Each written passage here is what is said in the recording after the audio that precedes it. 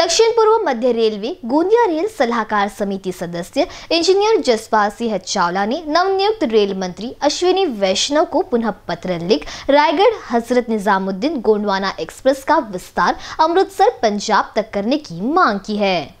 ज्ञापन में बताया गया है कि गोंदिया एवं आसपास के क्षेत्र से बड़ी संख्या में सिख एवं सिख धर्म में आस्था रखने वाले श्रद्धालु दरबार साहिब, हरिमंदिर साहिब, गोल्डन टेंपल, अमृतसर, पंजाब माथा टेकने जाते हैं। गोंदिया से अमृतसर के लिए एकमात्र सीधी ट्रेन छत्तीसगढ़ एक्सप्रेस चलती है। जिसमें गोंदिया से श्री अमृतसर साहिब का सफ़र तय करने में करीब करीब 38 घंटे का समय लगता है। गोंदिया से श्री अमृतसर साहिब के लिए कोई भी सीधी सुपरफास्ट ट्रेन नहीं होने की वजह से यात्रियों का काफ़ी समय खराब होता है। सुपरफास्ट गोंडवाना एक्सप्रेस का अमृतसर तक विस्तार होने से श्रद्धालुओं के समय समय में करीब आठ से दस घंटे की बचत होगी। एवं गोंदिया से अमृतसर के लिए सीधी सुपरफास्ट ट्रेन भी उपलब्ध हो जाएगी।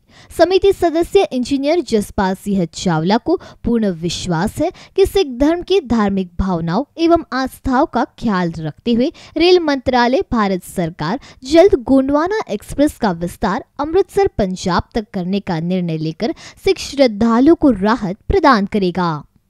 पीसीएन न्यूज़ के लिए गोंदिया से अभिषेक भटनागर की रिपोर्ट।